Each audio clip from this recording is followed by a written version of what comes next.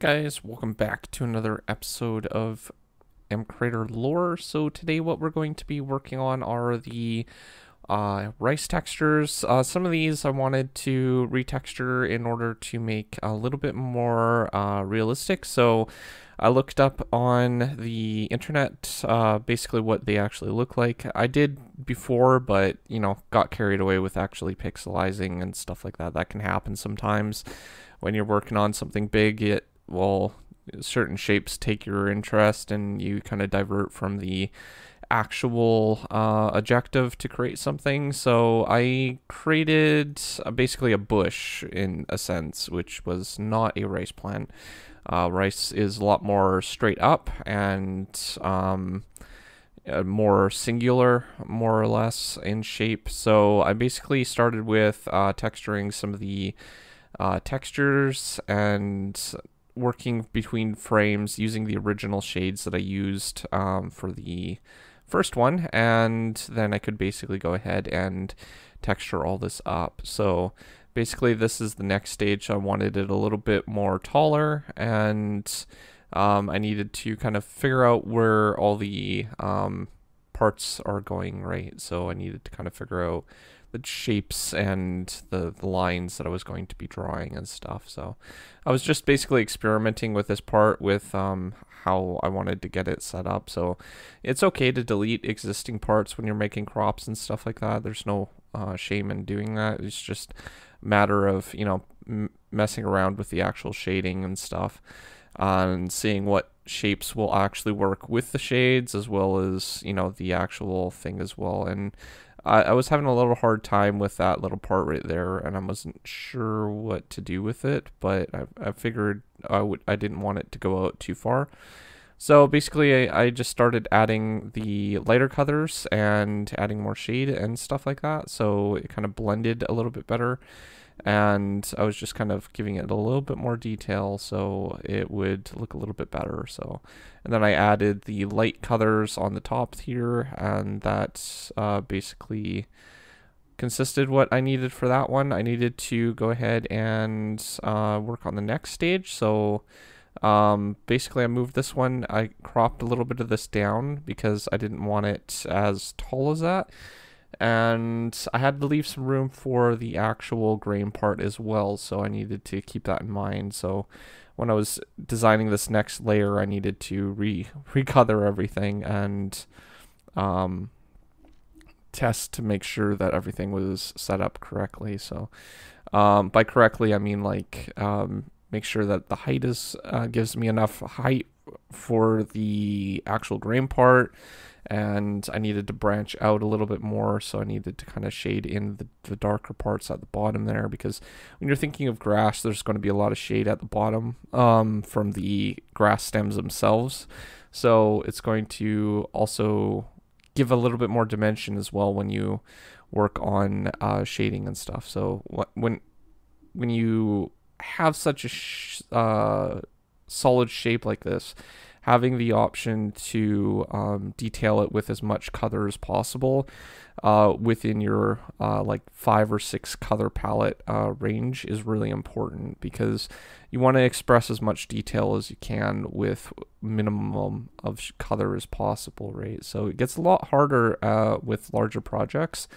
Um, I have worked on some pretty big projects uh, recently and stuff like that. I actually textured a cathedral for um, a friend and his project. So um, that was uh, like a huge image to texture, and it took me like three, four days to actually do, and it turned out really well. But um, you know, just playing around with the shading, making sure that everything works with the uh, the, the grass and stuff. Now you can kind of see that I'm playing around with the shading at the bottom here, trying to express as much detail as possible for that uh, bottom part and kind of blend it in with the actual shade. So that's basically what I worked on there. And I was just lightening up some of these other parts and making sure that it looks uh, pretty good.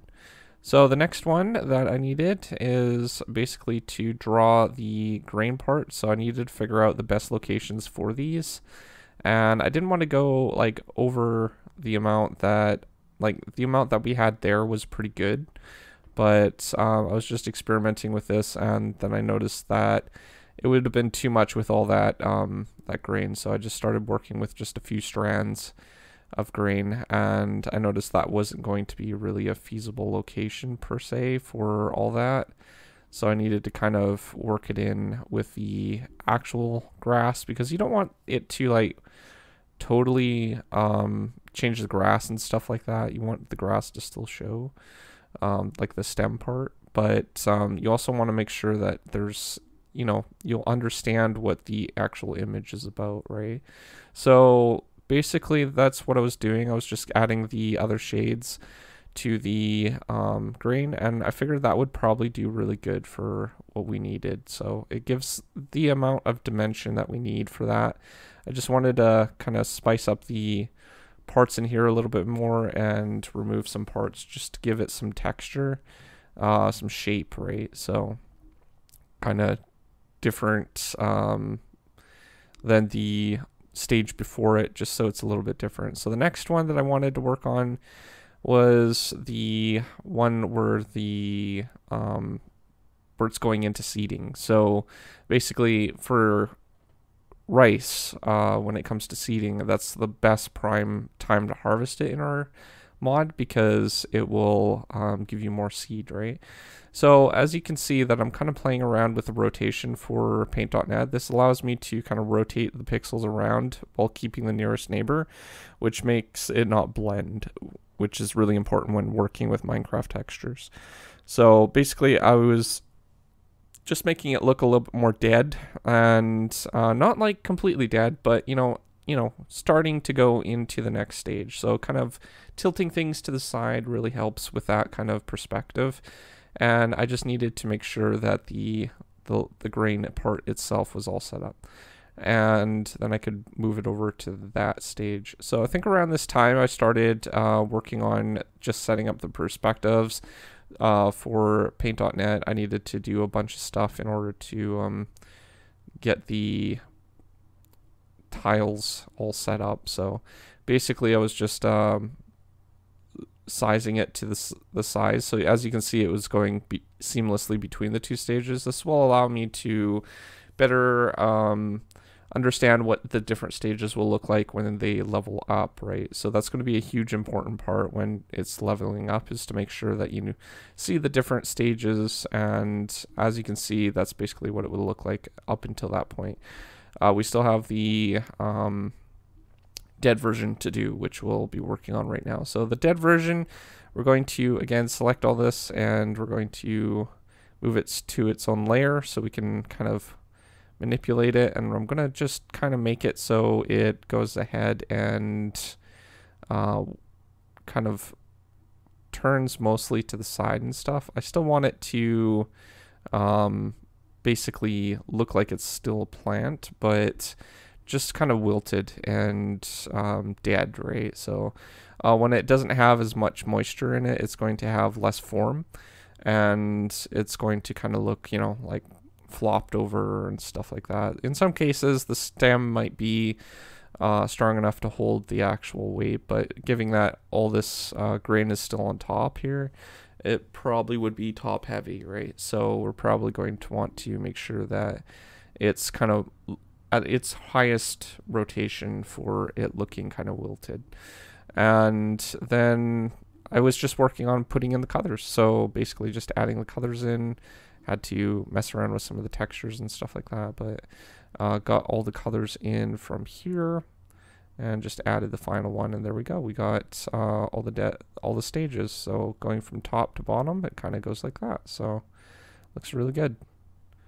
All right so next thing that I needed to do was save all of these and I'm just double checking to make sure that they all look good. And I'm going to save all and then just press that button and then it will save it all and then I can finally bring it into mcreator, which I can just uh, replace the textures, go into our folder, and I'll select all the ones that we changed. And there we go, they're all in. And now just rebooting mcreator so the textures update in here just to make sure that they're all updated.